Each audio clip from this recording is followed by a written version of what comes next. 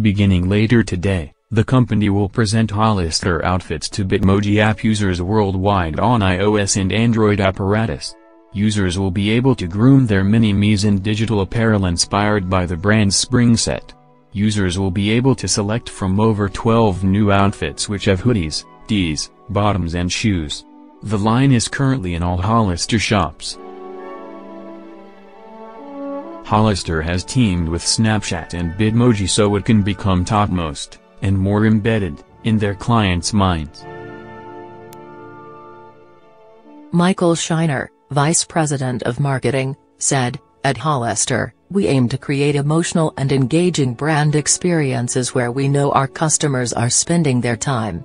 For us, it is about discovery and we are interested in building a relationship with our customer, it's not just about a transaction.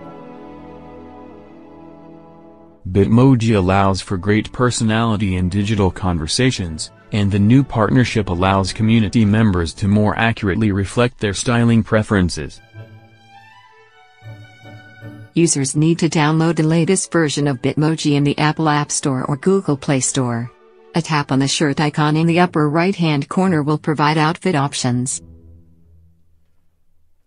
Hollister has partnered with Snapchat before.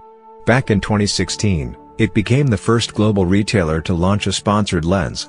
At the time, Snapchatters in the US were able to upgrade their selfies with an animated Hollister branded lens to communicate with the brand and with each other on the social media platform.